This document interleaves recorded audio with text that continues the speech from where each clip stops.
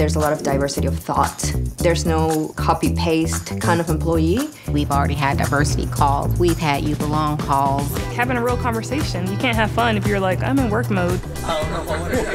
As we get to know one another better, we actually work better. It's really cool. I have not needed to tone down any specific way I dress or the way I talk. At other companies, I've always had to feel buttoned up, but here you can really play to your strengths, and no matter your personality type, people really accept it.